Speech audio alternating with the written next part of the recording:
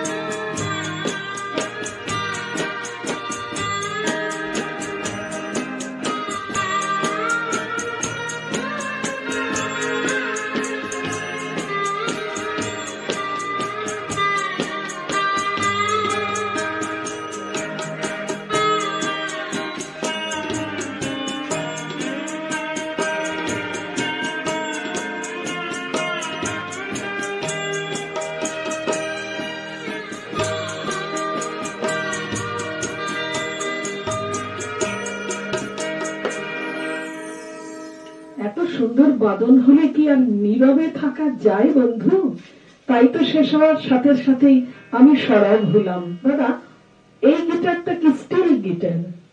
আরে Spanish guitar Hawaiian guitar এইগুলো তাহলে কি? স্প্যানিশ গিটার প্রথম তো? স্প্যানিশ গিটারটা অ্যাকচুয়ালি স্পেন থেকে গিটারটা প্রথম এসছে। এরপর হাওয়াই দ্বীপপুঞ্জে জোসেফ নামে এক ভদ্রলোক স্প্যানিশ গিটারটাকে পরিমার্জিত করে হাওয়াইন গিটারে রূপান্তরিত করেন। আর ওই যেহেতু হাওয়াই মানে হাওয়াই দ্বীপপুঞ্জ থেকে এই গিটারটা এসছে, ওই জন্য এই গিটারটার নাম হয়ে গেছে হাওয়াইন গিটার। আর এর বাদন শৈলীও একটু আলাদা। এই হচ্ছে ব্যাপার। বলে স্থান মাহাত্ম। চলুন আপনার পরে শুনে যাই।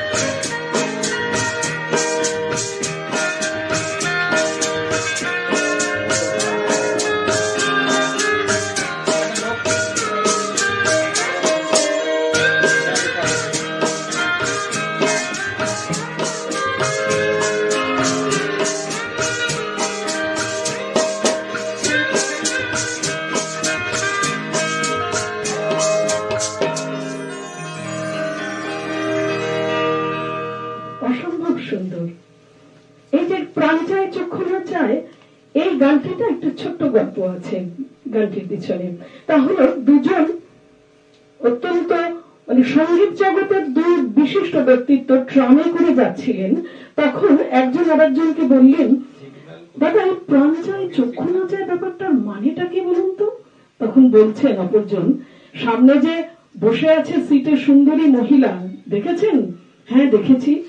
প্রাণ চাইছে তো, তাকে একটু দেখবার, কিন্তু চক্ষু দিতে পারছেন না। এটাই হলো প্রাণ চায় চক্ষু না চায় চলুন আপনার পরে গেলে যাই। তারপরে আসছি কথায়।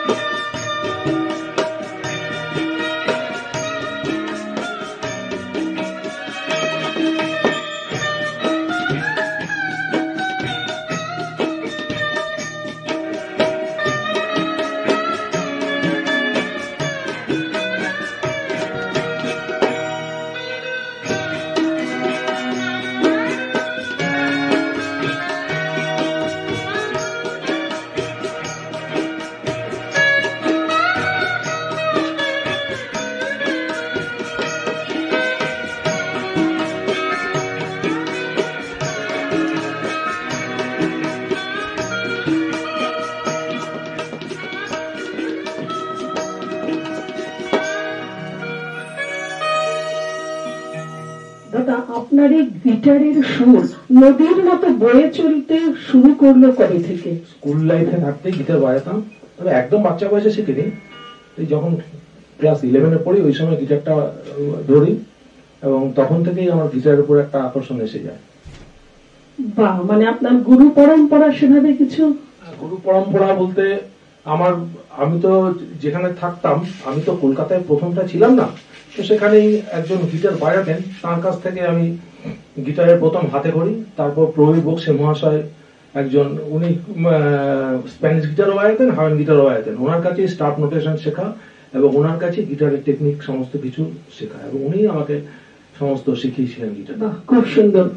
আমার আরেকটি প্রশ্নের উত্তরও আমি সাথে সাথে পেয়ে গেলাম যে বাদ্যযন্ত্র তো বিভিন্ন রকম রয়েছে। আপনি কেন গিটারে আকৃষ্ট হলেন? তার উত্তরও এসে গেল। চলুন তাহলে পরের গানে যাওয়া যাক। পরে কি গান পাচ্ছি দাদা? এত সুর আর এত গান শুনছি সুবীর সেনের তো? চলুন।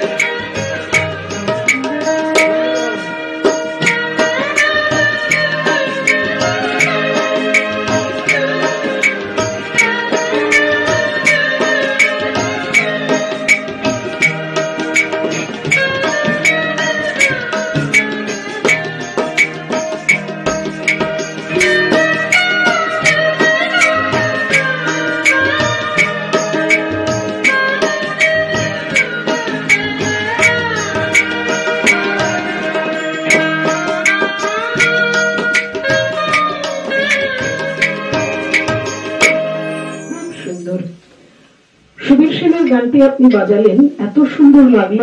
তবে দাদা, এই গানটি আরও উচ্চ মাত্রায় গেল। আমাদের সুজিত সেনের তত্ত্বাবধানে সঙ্গত শিল্পীদের সহায়তায়। এর পরের গানে যাব, তবে একটু আপনাকে জিজ্ঞেস করি যে আপনি যে এই স্টিল গিটার বা হাওয়াইন গিটার বাজাচ্ছেন, আপনি কি স্টেজ শো করেন? খুবই কম। আসলে চাকরি সংক্রান্ত ব্যাপার আমাকে খুব ব্যস্ত থাকতো থাকতে হতো। যার জন্য ওই মাঝে মধ্যে আকাশবাণী থেকে ডাক পেতাম যেতাম তাও পরের দিকে আর হচ্ছিল না। হুম সরকারি চাকরি করলে যা হয় তারপরে স্টেজ শো খুবই কম করেছি বিশেষ একটা করিনি। চাকুরির কথা যখন এলো আপনার পেশা কি ছিল? আমার পেশা মূল পেশা চাকরি আর চাকরি ছাড়া আমি গিটার তার সঙ্গে আমি শরৎ তারপরে সেতার স্প্যানিশ গিটারও বাজাতাম। এগুলো সবই আমার মানে শখ। শখেই আমি করেছি। আমি আলাদা করে ধরে বেঁধে আমি অন্য কোনো স্টুডেন্ট টুডেন্ট খুব একটা শেখাইতে নাই কোনো পুরস্কার চলতে চলতে? আমি প্রয়াগ সংগীত সমিতি এলাহাবাদ থেকে গোল্ড মেডেল পেয়েছি। আর দু হাজার সালে আমাদের স্থানীয় আমাদের ওখানকার রেল থেকে আমাকে একটা বিশেষ সম্বর্ধনা জানানো জানানো হয়েছিল। গত পঞ্চাশ বছরের মানে শ্রেষ্ঠ নাগরিক হিসাবে। গণ সম্বর্ধনা সেখানে যে মানে জেনারেল ম্যানেজার আমাকে সেখানে ওখানে পুরস্কৃত করেছিলেন, এই পেয়েছি আর কি। আপনার গর্বে আমরাও গর্বিত। চলুন পরে শুনে যান